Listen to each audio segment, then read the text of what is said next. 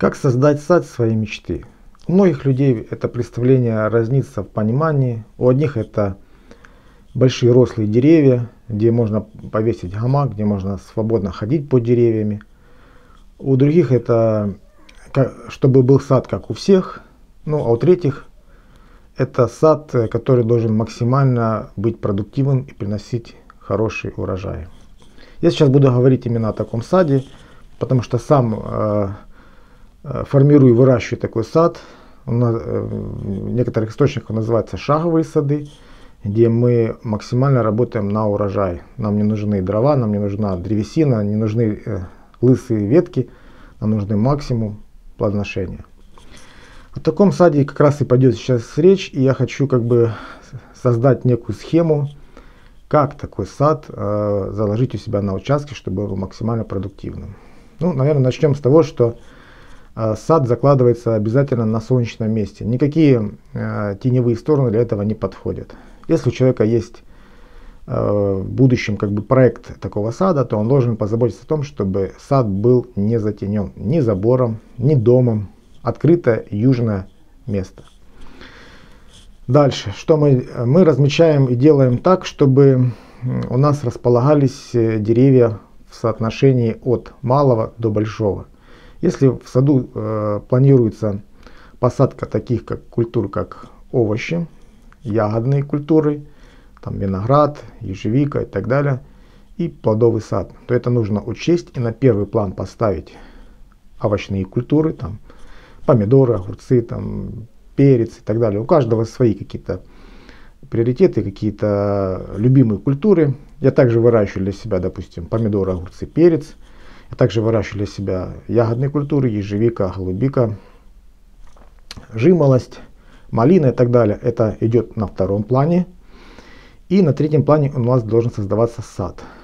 Сад создается таким образом, чтобы э, было разнообразие э, плодовых пород. И естественно, что они должны располагаться от меньшей, меньшего роста к большему росту. Также в идеале подойдет э, размещение это каких-то шпалерных форм, э, малогабаритных форм. Или же, если мы будем сажать на свинорослом подвое, то подбор правильного расстояния для того, чтобы эти деревья могли иметь э, компактную крону при формировке. Итак, э, выбираем солнечную сторону, это юг. В начале участка мы располагаем наш огород. Дальше идет за огородом ягодный ягодные культуры. И уже на третьем плане мы размещаем уже плодовый сад. Итак, с чего мы начнем? Когда мы, у нас уже есть разметка, и мы уже определились, э, какие культуры мы хотим выращивать, я сейчас беру в частности сад, э, то мы должны распределять эти деревья таким образом, что у нас должно быть культура культуре. Допустим, если мы собираемся посадить черешню, то это должна быть э, несколько сортов, то это должна быть, допустим, ряд черешни. Один там сорт, второй сорт, третий, четвертый, пятый. Кому, у каждого свои запросы, у каждого свои потребности в данной культуре. Да? Дальше, если мы хотим еще как добавить к этому э, черешне, добавить, допустим, персик, мы должны отступить в место и посадить ряд, несколько деревьев персика. Дальше мы отступаем, высаживаем яблоню, дальше отступаем грушу, абрикос, э, слива. То есть эти культуры должны находиться отдельно друг от друга. Для чего? Для того, чтобы потом можно было ухаживать, потому что у каждой культуры есть свои э, физические, э, физиологическое свое развитие, и каждая культура требует э, своего времени, как для обрезки, так же для обработки, там, полива и так далее, чтобы не было хаоса и э, неразберихи. Сажаем, допустим, абрикос, цветет самый первый, э, ему нужно делать по цвету обработку, и мы работаем по абрикосу отдельно. Допустим, персик работаем отдельно. Яблоня, груша, у них свои сроки и так далее чтобы не мешать и не брызгать, когда созревает одна культура, чтобы мы не использовали химикаты по а, плодам, допустим, созревающим уже. Итак, когда мы разобрались, что у нас есть уже разметка по породам э, плодовых, да, теперь нужно нам определиться с посадочным материалом. Скажу так, что посадочный материал это одна из составляющих э, закладки сада, потому что при выборе посадочного материала невозможно потом далее что-то исправить. Если мы хотим малогабаритный сад на низкорослом подвое, мы должны сажать на карлики, полукарлики, на слаборослом подвое. Это залог э, и минимизация ухода, э, максимальный урожай и так далее. Итак, когда мы определились, что если у нас будет карликовый сад, то для некоторых культур, культур потребуется, конечно, какой-то каркас, какая-то шпалера. Это тоже очень важно, потому что некоторые деревья просто не могут сами по себе расти. Им нужна какая-то опора. Если это будет, допустим, среднерослый или э, семенной подвой, то тут уже э, из учета этого нужно подбирать расстояние между деревьями. Это очень важно. Если это будет, допустим, семенной подвой, то и формировка в виде э, какой-то чаши, то естественно, что для этого потребуется много места. И деревья нужно размещать в таком саду минимум через 5, а то и 6 метров. Это надо сразу учитывать, потому что даже если чаша имеет какую-то такую раскидистую крону, нам все равно нужен обдув, нам нужен просвет, а свет это фундамент хороших урожаев, поэтому э, нужно это все учитывать. Далее переходим к посадочному материалу. К сожалению, у нас нет э, на данном этапе э, таких профессиональных питомников, да, где бы мы могли подбирать э, э, подвой под свой как бы э, сад, да. Э, очень сложно на сегодняшний день найти питомник, где бы честно люди могли, во-первых, правильно привить. Ну, давайте начнем с того, что правильная прививка – это та прививка и посадка. Это та, тогда, когда прививка делается не в корневую шейку. Это очень, ну, по старинке так вот берут и прививают в корневую шейку там, или чуть рядом с корневой шейкой. Это ошибка, так нельзя прививать. И никогда не покупайте такие саженцы. Саженец начинается, э, правильный подход к саженцу начинается, когда прививка выполняется на 10, от 10 сантиметров от корневой шейки, от 10 сантиметров. Не надо близко прививать деревья. 10-15 сантиметров до 20 сантиметров э, это оптимальные размеры для того, где должна была выполняться прививка. Учитывайте, это очень важно при выборе саженцев. Далее, это э, сортовые особенности, да, вот мы выбрали, допустим, у нас будет среднерослый или карликовый подвой, прививка выполнена правильно, мы видим, что в этом питомнике прививка выполнена правильно. Лучше спросить сертификат чистосортности, нет, нет никаких там вирусов, болезней и так далее, это тоже очень важно, посадить с фитофторой э, плодовое дерево, которое через э, 3-4 года у вас засохнет, это тоже не, не вариант. Поэтому лучше сертификат э, чистосортности этих сортов от болезней. Это тоже очень важно. Итак, мы выбрали саженцы, где есть правильная прививка, где есть, допустим, интересующий нас подвой. Теперь э, характеристики сорта. Характеристики сор сорта это очень тоже важная составляющая, потому что нам нужно знать, как мы будем управлять дальше этим деревом. Вся задача выращивания в саду это э, возможность э, э регули регулировать рост мы должны контролировать, регулировать рост, чтобы дерево нам давало урожай. Если мы знаем особенности сорта, нам это проще делать. Когда мы покупаем грушу, мы не знаем, что с ней делать, это будет просто бесполезная трата времени. Поэтому лучше всего, конечно, подчеркнуть знания из каких-то источников о а, а, частностях этого сорта, для того, чтобы могли правильно его продуктивно выращивать. Далее, когда мы определились с подвоем, с правильной прививкой, с особенностями сорта, э, количеством саженцев, мы должны учесть еще такой момент, как э, опылители для каждой породы. Да? Для каждой породы, для черешни, для сливы и так далее, для груш, яблони лучше подбирать те сорта, где будет взаимное опыление. Это тоже очень важно. Это тоже продуктивность э, в этом также преследуется. Итак, следующий этап это сорта пылителя. И вкратце, вот то, что я сказал, это основа будущего хорошего продуктивного сада. Далее, когда мы уже э, определились э, с выбором, э, нам нужно определиться с формировкой нашего сада. Как, опять же, формировка тоже зависит от того, какой будет подвой и привой. Потому что есть подвой слаборослый, но есть то, что привито, сорт, он может быть очень мощным, и это тоже нужно учитывать. Или очень слабым, это тоже нужно учитывать. Это все нужно учесть при закладке сада. От этого зависит, какая будет формировка. Если это будет формировка шпалерная какая-то, допустим, или по принципу веретено, тоже какой-то надо, какая-то опора, какой-то э, бамбук или какой-то каркас и так далее. То есть это одно. Если это будет, допустим, чаша, формировка чаша на среднерослом или сильнорослом подвое, то здесь, конечно, опоры никакой не нужно. Но здесь нужно будет дополнительное э, мероприятие, как летняя обрезка э, в обязательном порядке. Итак, мы выбрались, мы выбрали э, формировку, мы э, начинаем высаживать, правильно высаживать саженцы и э, правильно их формировать. Дело в том, что формировка в основном она заключается в двух типах. Ну, в основном, ну, в трех, я скажу, в трех.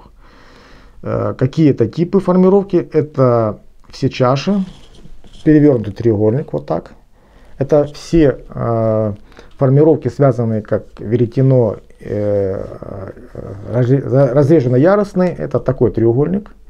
И это формировки плоскостные, э, вот такого плана, как формировка УФО и одноплечий, двуплечий кордон и, и все подобные им, где располагаются ветки, то ли это будет центральный проводник и до 6-7 горизонтальных ветвей на шпалере и так далее. То есть, еще раз повторюсь, такая формировка, такая формировка и плоская. Это три основных типа формировки. Итак, а, что далее? Мы выбираем формировку. Опять, это все зависит, я еще раз повторюсь, от того, какой подвой, какая а, а, будет у нас формировка. Это все зависит от э, ниже сказанного. Теперь мы начинаем формировать деревья. Я, допустим, как человек э, сведущий в садоводстве, да, имея профессиональный как бы уже свой взгляд, скажу так, что на сегодняшний день, если мы выбрали э, слаборослый подвой, карликовый подвой, то лучшим э, способом формировки это будет э, веретенообразная какая-то форма, допустим, это э, встроенное веретено, обычное веретено, там высокое, ну, в общем, они все идентичны, где есть один лидер – и э, ветки, располагающиеся близ лидера со сменной трехлетним циклом, да, обрезкой. Если это э, уже люди, которые хотят еще более продуктивного э, садоводства, это формировка УФО. Что такое формировка УФО? Это наклонный кордон, штамп, лидер, который начинает выращиваться под углом 45 градусов, да, и на нем располагается много лидеров много проводников. Многолидерная такая формировка, которая на сегодняшний день является самым-самым продуктивным форматом выращивания таких культур, как э, черешня, слива, в Новой Зеландии э, груша, яблоня, абрикос. На сегодняшний день это передовая формировка по всем э, параметрам. Это скороплодность, это высококачественный урожай, Дело в том, что все формировки, которые, э, которые используются э, лидерные, да, они э, продуктивны в том случае, когда плоды располагаются как можно ближе к основанию этого лидера. Посмотрите, формировка УФО. Там нет боковых веток, там только в зависимости от того, сколько там этих лидеров, есть даже двухкордонный УФО с, двум, с двумя кордонами, с двумя проводниками под наклоном в разные стороны, вот так под 45 градусов, и на них располагается много лидеров. Много лидеров.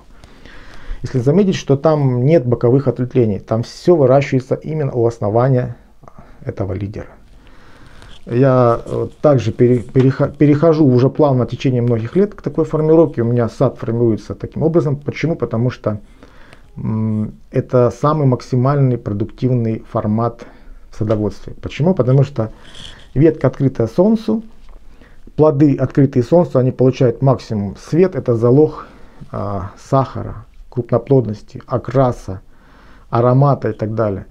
И все эксперименты, все институты работали для того, чтобы вывести такие формы, на которых это бы соответствовало этим стандартам и запросам. Ну, плюс еще уход за садом, сбор урожая и обработки.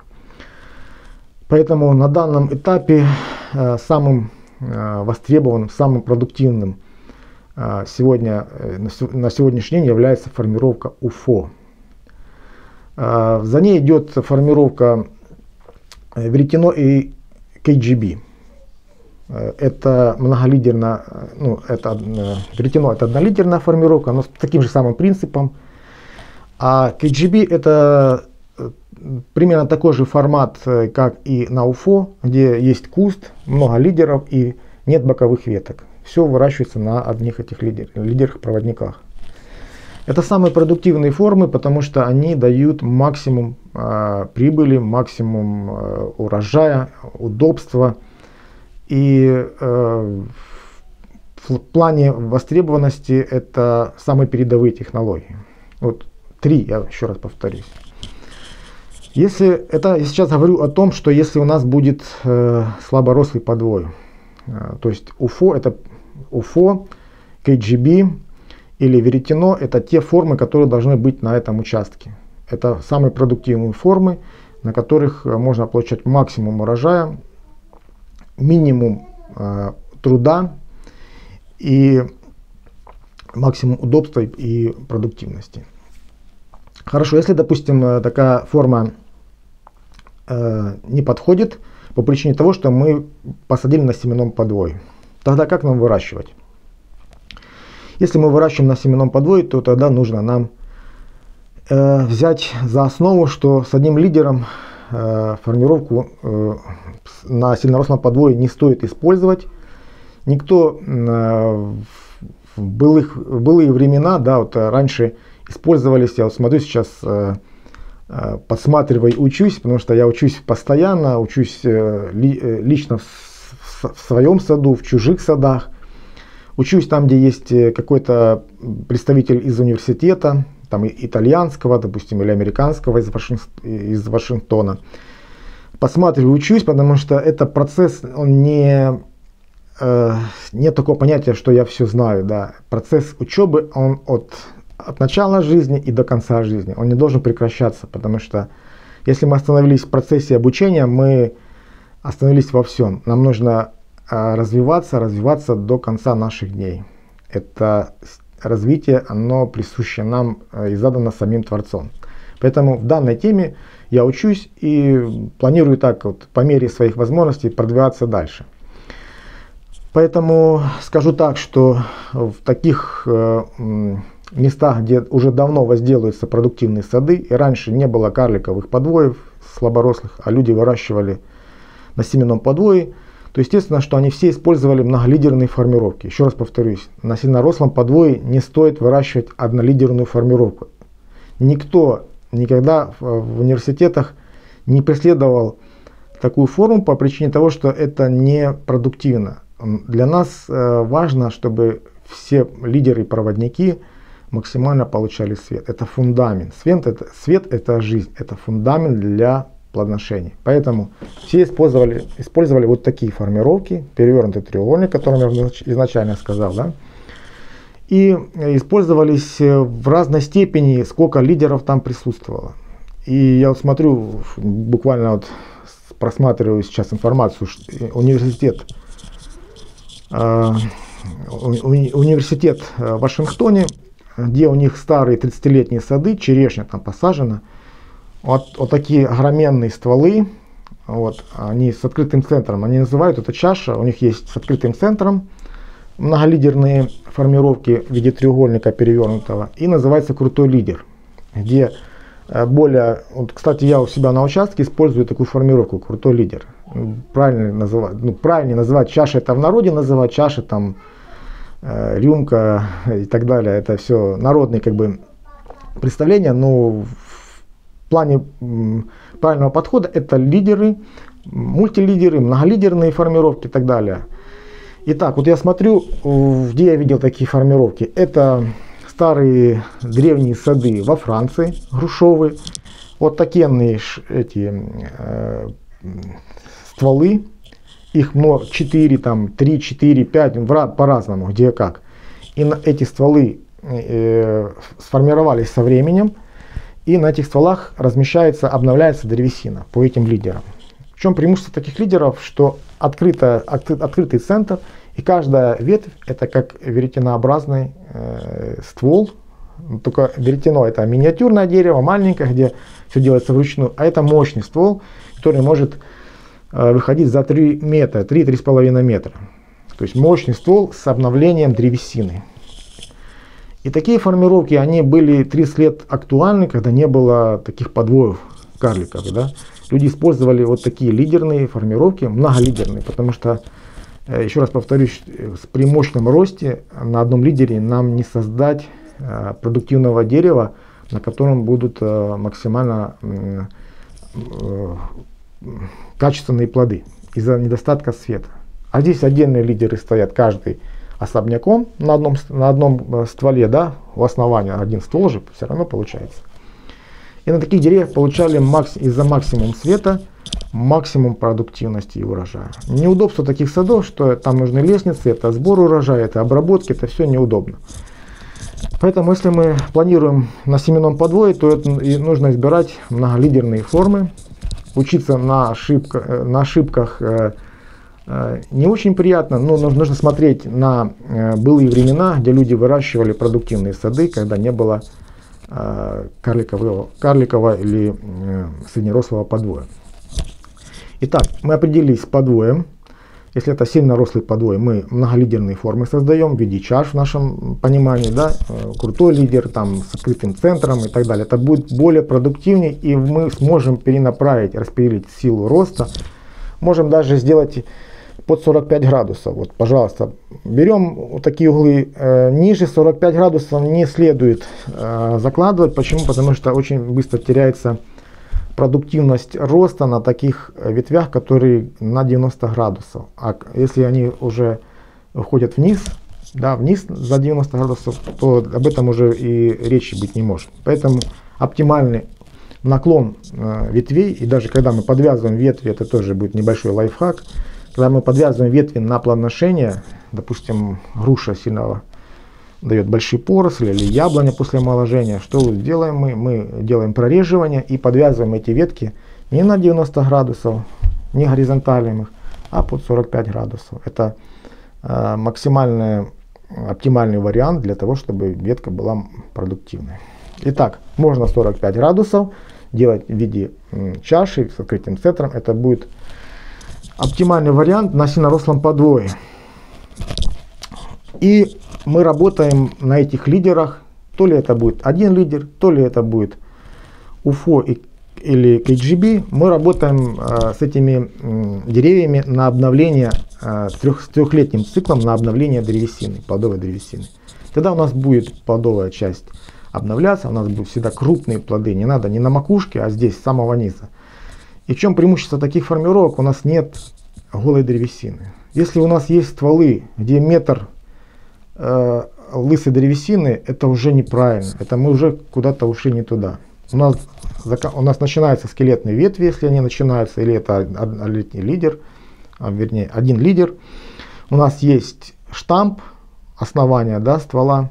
И э, там, где начинается там 50, 60, 70 сантиметров от земли, у нас начинается продуктивная часть. Она вся отсюда и до самого верха у нас должны быть плоды. Только тогда мы э, сможем, э, ну, я скажу так, есть три баланса, это уже мое, как бы, мой взгляд, мое представление, есть три баланса. Это баланс света, это баланс роста и это баланс плодоношения. Это три баланса, которые дают продуктивное дерево. Если мы сможем манипулировать и управлять ростом и этими балансами на своем участке, со своим деревом, у нас будет всегда хороший урожай.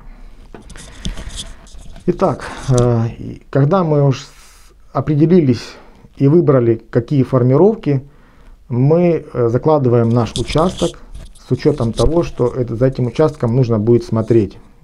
Сразу скажу, э, допустим, такой вариант. Тут часто приглашают меня, допустим, посмотреть сад. Приедьте, пожалуйста, посмотрите старый сад, остался там от э, дедушек, бабушек, от родителей, или купили участок, там был старый сад и так далее. Что с ним можно сделать? Э, память, там еще что-то. Я в основном 99% приезжая в такие сады, я скажу, сажайте новый сад. Почему? Ну потому что пальмовые деревья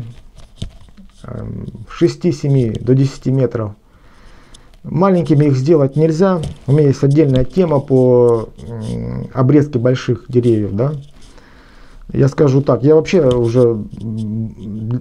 в последнее время, несколько лет, отказался полностью, если мне попадается какое-то дерево большое, там клиентов очень много, и по сарафанному радио э, звонят очень часто.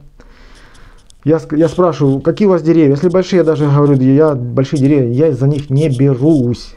Я не хочу э, тратить время, потому что это дорого, это трудоемко, это невыгодно в плане того, что мы укорачиваем жизнь дерева. Пусть оно будет большое, можно там сделать какой-то... Но я не хочу этим заниматься, у меня достаточно работы, чтобы э, заниматься более по душе, чем э, заморачиваться да, и портить дерево. Вот самое главное портить дерево. Поэтому я сразу скажу, если у вас заросший сад большой, или пусть он доживает свой срок и получаете, вот, э, как э, изначально, в начале видео я сказал, что есть категория людей, которым нравится большой сад. Тень, удобно летом, шашлык, гамак, э, бассейн можно поставить там и так далее. Ну, в общем, все для отдыха. Это, в принципе, вот такой вариант. Если же мы хотим э, оставить память, ну пусть она так и останется, эта память. Можно там какие-то веточки сухие пообрезать и так далее. Там яблочки попадают, собрали что-то, съели и так далее. Но скажу так, в основном сады старые, они все пораженные некрозами, раком, э, столбы эти резать э, трех-четырехметровые на омолаживание это пустая трата Я этим не занимаюсь просто. Я вижу, как дачники, ну, да, у дачника еще и другая категория есть повозиться, интересно, посмотрел как видео, почитал книжку, там пишет то, все, и в общем, хочется, руки чешутся, хочется позаниматься. Это, это правильно, это хорошо, но я сейчас о другом, у меня тема немножко другая. Поэтому я скажу так, что э, я не берусь за такие сады и рекомендую людям выпиливайте эти сады сажайте новые, продуктивные и сорта. Допустим, ну есть сорта, которые вот сегодня замечательный есть агроном, единственный, наверное, агроном, э, который соответствует этому званию, и это из Украины Маценко. Вот чем он мне нравится, это новатор, он берет эти все системы и использует у себя на, на своем участке, у него там не знаю сколько гектар, он выращивает и посадочный материал, но он э, как э, пытается Э, на основе уже этих форм сделать что-то свое. И у него очень хорошо получается, я с удовольствием смотрю этого автора, он мне очень нравится, это мой коллега. И вот любо посмотреть, человек с головой и дает э, э, хорошую информацию для размышления. Посмотри, уже готовые сливы УФО, черешни УФО, новые сорта. Э, ну, все время не стоит на месте, надо стремиться к лучшему, к совершенному, продуктивному. И люди этим и занимаются. Зачем университеты зарубежные этим занимаются? Для того, чтобы получать максимум прибыли, максимум урожая и выйти из-за конкуренции. Да, вот, э, потому что когда много всего есть, допустим, Валерий Чекало уже никто не выращивает такую черешню, почему она уже не перспективна. Уже есть итальянские, французские там, и, так, и так далее э, э, формы селекционные, которые намного превосходят по вкусовым качествам, от растрескивания, там большая косточка у Валерия Чкалова, там мало мякоти и так далее. Она хорошая черешня, когда нет сравнения, ну уже все вперед, все, паровоз уже давно ушел вперед. Поэтому нужно быть новатором, нужно смотреть на передовые технологии и получать максимум, максимум э, во всех отношениях. Э, ну что я хочу сказать. Вот, допустим, создаем мы сад, э, я уже сказал о том, что культуры должны быть разделяться, потому что нужно будет работать с этим садом. Если мы выбрали, еще раз э, вернусь к синорослой формировке, да, нам нужно вооружиться летней обрезкой и она будет основной. Без летней обрезки нам не достичь результатов, и мы э, эти деревья просто не сможем удержать. Самое главное, не дать развитию корневой системы на сильнорослом подвое за счет обрезки. Мы не должны ему дать развиться. Если мы дали развитие корневой системе, выросло дерево, вот как я говорил, за большой сад, да, вернуть его обратно не получится. Оно будет всегда жировать. Всегда. И нам нужно будет постоянно резать, резать. Ну, есть другие способы. Есть регалис, есть подрезка корней, есть подрезка штамба. Но никто этим заниматься не будет. Поэтому не дать развития корням – это основной принцип. Старые деревья под спил, не морочьте голову, не страдайте, не занимайтесь ерундой, потому что это не принесет вам должного результата. Все стволы толстые, которые вы порежете, даже вот такой толщины, они обречены, особенно на яблоне. Это самая слабая культура. Вот, поэтому сажайте новый сад, выбирайте формировку, работайте так для, для того, чтобы деревья не уходили. Это летние да, по поводу еще больших деревьев, ну, самому сложно работать. Э, эта тема очень актуальная. У меня была целая тема на эту, по, по, по этой, как бы, по этому формату а, больших деревьев. Я скажу так, что большие деревья, они непродуктивны во всех отношениях. Ну да, там много яблок может завязаться. Ну, во-первых, мы их не обработаем, они половину осыпятся. Я вижу, как вот люди таскают ведрами паданку, эту гниль. Я ничего не могу сделать. Опрыскивателем туда не достать, обрезать их, не обрезать. Падают эти яблоки, что-то на сушку, что-то на компост, ну где-то там и съесть можно, если упало, там ветром снесло. Вот. А так в основном червивые, гнилые, в парше и так далее, и так далее. То есть обработать такое дерево невозможно. Без обработок, сразу скажу, даже не думайте. Это то, что сегодня там э, пропагандируют э, люди, которые круто зарабатывают деньги на э, веш, лапши людям, э, которые говорят, что не, сад без химии, ну, ну это смешно просто, это просто смешно. Э, можно рационально использовать химию, но без химии нельзя. Ни, ни, ни одно производство растений на данном этапе не выращивается без химии. И самое главное, что они э, как бы хорошо зарабатывают на этом и привлекают людей, потому что ну, каждый, каждый да, скажет, вот, Сад без химии. Я же тоже хочу сад без химии. Мне не нужна химия. К сожалению, останутся без плодов, без урожая. И такие деревья просто потом под бензопилу. Самое главное, что сами эти пропагандисты этого движения, да, я так скажу, они сами едят эту химию в большом количестве, потому что покупают э, овощи, фрукты ну, в магазинах, на рынках, в супермаркетах. Э, начиная от глифосата, который льется постоянно под корни деревьев, и заканчивая там бананы там, до 50 обработок, к примеру, так скажу, и все прочие, все цитрусовые, яблоки, груши, черешня, все там массово обрабатывается, все равно люди это покупают. Поэтому не надо себя обманывать и говорить о том, что можно вырастить без химии. Э, можно рассказать это, да, можно рассказать, что есть сады без химии. Но по факту все они сами прекрасно кушают химию, покупая ее где-либо. Поэтому нужно учесть момент, что э, малогабаритный сад, он позволит вам собственноручно, не прибегая к э, профессионалам. Да, дело в том, что большое дерево обрезать очень сложно. Мне, э, допустим, есть клиенты, у меня постоянные уже старые клиенты, которым, которых я обслуживаю уже 10 лет – есть у них большие деревья. Вот я трачу вот, буквально абрикос, я вот летом, осень, летом, осенью обрезал абрикос, я потратил где-то около 3,5 до 4 часов на одно дерево. Поэтому э, это я, который имею профессиональный инструмент, э, опыт огромнейший в этом направлении. То есть я работаю аккумуляторным секатором, для меня это не составляет труда пообрезать. Все-таки э, не э, зимой, а летом, когда побег еще более мягкий и так далее. Поэтому э, это очень дорого, это очень не, сам, если самому это не делать, это не э, многие не способны на такое, потому что тут нужен э, знание, профессионализм. Вот, и скажу, такие сады, они, если нанимать людей, допустим, профессион... во-первых, профессионалов очень мало в данной теме, это раз, во-вторых, это будет очень дорого. И если делать еще и обработку, это тоже будет дорого. То есть стоит, если посчитать, стоит ли выращивать такой сад, ну, э, большой, я имею в виду большой, где нужно э, на одно дерево заправить 10-литровый опрыскиватель, мотоопрыскиватель и сделать обработку, плюс химические препараты. Все это дорого. Это стоит ли выращивать такой сад, если взять цифры посчитать, я думаю, что он себя не оправдывает. Итак, э, тут еще как бы такая тема, это время обрезки. Время обрезки. Я скажу так, что... Ладно, я не буду сейчас затрагивать эту тему, это будет отдельно.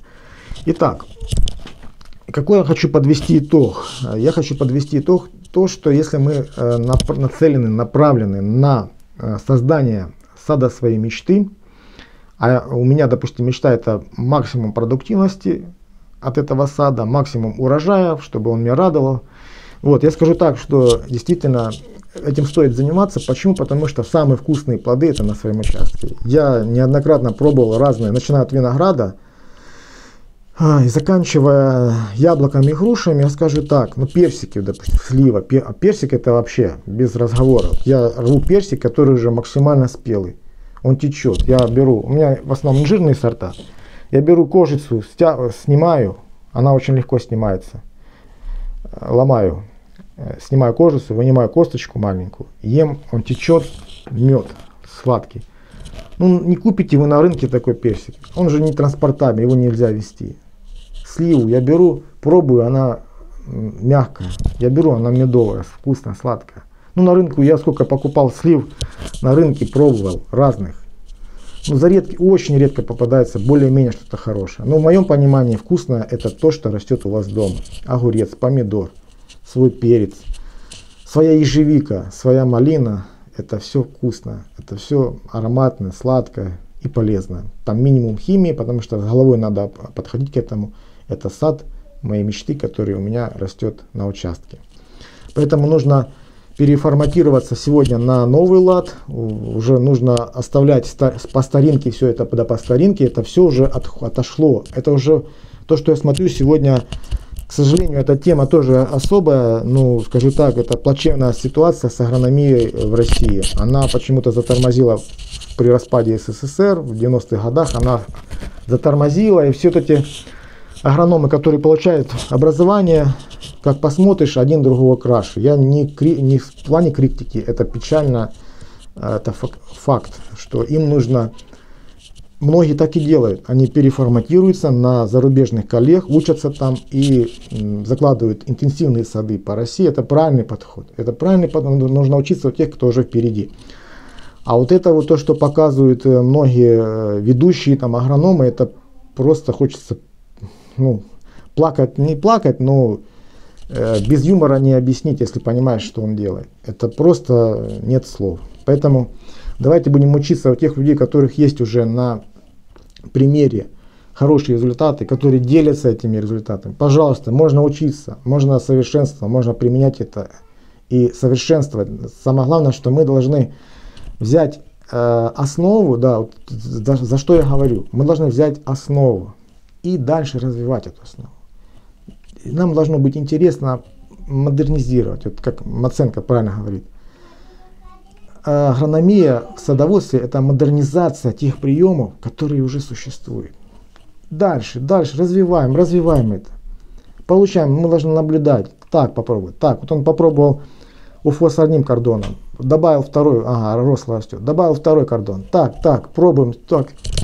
Модернизация это залог э, продвижения и успеха.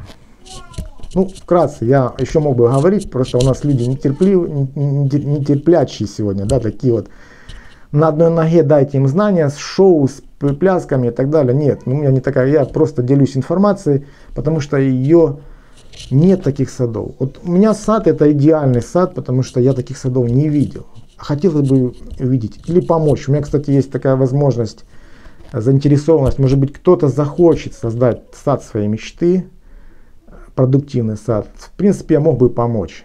На определенных условиях я мог бы помочь. Заложить действительно продуктивный сад, а не э, создавать лесные массивы на своем участке для дров и для тени.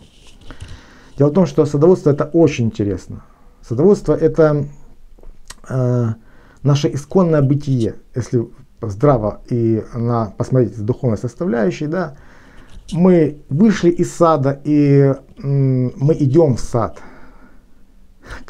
Кто умеет уши и разумение, да разумеет. Сад это будущее наше. Поэтому я призываю всех людей выращивать э, продуктивные сады на своем участке, выращивать. Это интересно, это наша стихия, это наше исконное место пребывания. Желаю вам хороших и продуктивных садов.